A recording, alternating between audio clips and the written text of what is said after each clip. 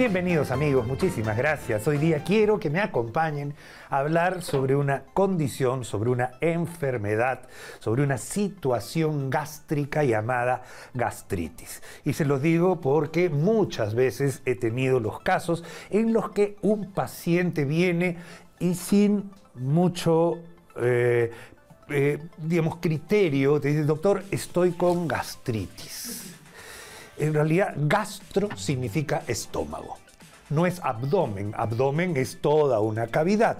El estómago es un saco, una parte especial de nuestro sistema digestivo, viene después del esófago, en donde se cumple una función muy especial.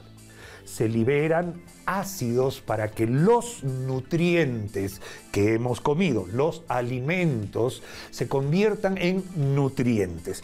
Los dientes inician la masticación. El esófago transporta estos alimentos hacia la cavidad gástrica. Esta cavidad gástrica es realmente impresionante porque puede tolerar ácidos tan fuertes, señor, señor, escúcheme usted, como el ácido clorhídrico.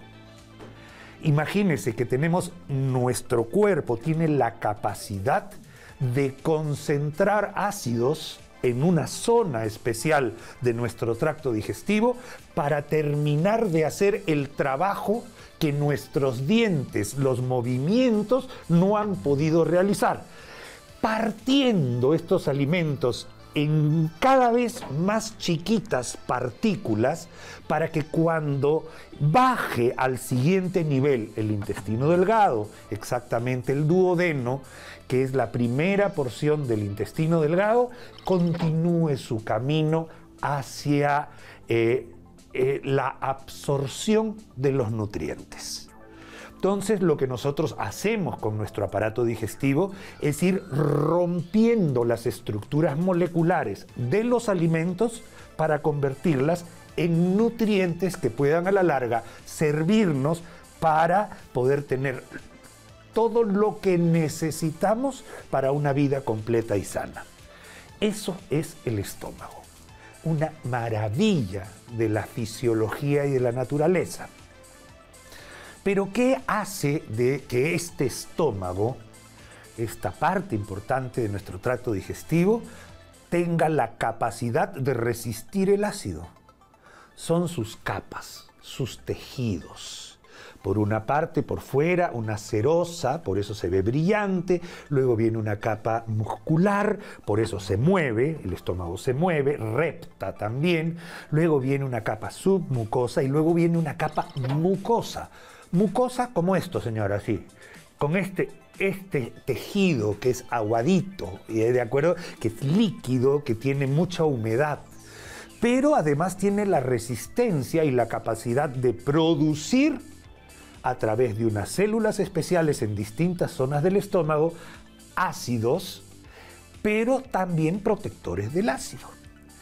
Entonces, ¿qué sucede cuando se rompe ese equilibrio y el ácido permanece más tiempo del usual al nivel de la mucosa gástrica, lo que tapiza el estómago por dentro? Eso genera una inflamación. ¿Qué pasa? Se pone rojo, se pone irritado, se pone congestivo, se pone colorado. Eso es gastritis inflamación de la mucosa gástrica. ¿De acuerdo? ¿Y cuáles son los síntomas que produce una gastritis? Básicamente, señor, señora, espera, antes de que me pongas eso, voy a dar los síntomas específicos e inespecíficos. Porque, señor, ¿Cuántas veces le ha pasado después de comer un pollito a la brasa con bastantes papitas, ají y mayonesa? Usted no ha sentido esa sensación de saciedad, de llenura, de una sensación de acidez de indigestión. ¿Se puede considerar gastritis? En realidad no. Eso se llama dispepsia. Pero una gastritis, para ser diagnosticada de gastritis, tiene que ser a través de una endoscopia para ver si esos síntomas son producto de una transgresión alimentaria momentánea o si es un producto o un proceso de inflamación de la mucosa del estómago. Cuando esta inflamación de la mucosa persiste en el tiempo, se hace más profunda, produce síntomas capitales importantes que incluyen los que vemos en pantalla. Adelante, ardor en el abdomen superior, en la boca del estómago. Es un ardor constante que tiene molestias, que a veces calma con el alimento, pero una vez que salen los ácidos nuevamente, vuelve nuevamente el dolor. Puede haber incluso confusión ardor en el pecho, pensar que tienes un infarto, porque el estómago puede estar un poquito ascendido, estar un poquito más pegado al esternón. Eructos, vamos a decir, dispepsia, gases, sensación de indigestión, y cuando esto se agudiza, el estómago se pone duro como señal de protesta por lo que le está pasando, y a eso se pueden agregar náuseas y vómitos. De acuerdo, esos son los signos y síntomas de una gastritis pero una gastritis puede ir hacia la solución o hacia el empeoramiento. Acá hay un problema importante. ¿Por qué se produce esto? Primero puede ser por exceso de ácido y mal manejado. Segundo, por deficiencias en la protección de la capa mucosa que tenemos ahí y que es básicamente a base del bicarbonato. Luego, constantes transgresiones alimentarias. Si usted todo el día está comiendo mal, no está respetando los horarios, está tomando sustancias muy irritantes como café, licor, vinagre, este tipo de cosas, obviamente estos problemas van a continuar en el tiempo. Entonces, ¿qué es lo que uno debe hacer?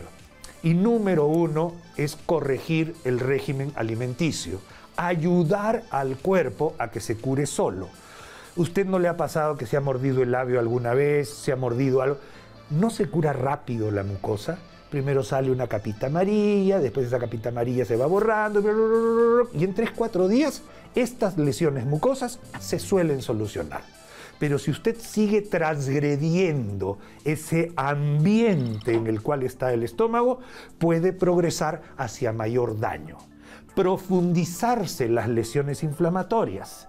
Entonces se va barriendo con la capa mucosa, va perdiendo esa capa mucosa de protección y va llegando a tejidos más profundos. Es ahí cuando una gastritis puede generar una úlcera gástrica. Y hay que tener cuidado, piense que es una úlcera en una zona que está rica en ácido. Esas inflamaciones crónicas pueden hacer que una gastritis crónica asociado a algunos patógenos que prácticamente viven ahí, como el Helicobacter pylori, son asiento de una posible lesión que puede transformarse hacia una neoplasia.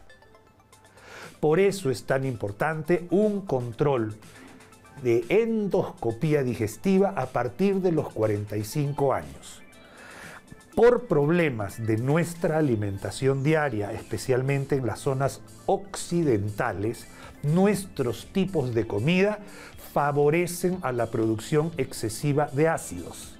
Y esto a la larga está generando problemas de gastritis crónica en evolución larga que pueden generar eh, degeneración del tejido habitual reemplazándolo por otro. Eso tiene nombres clínicos, displasia, metaplasia, etcétera, hasta que se llega a convertir en una lesión neoplásica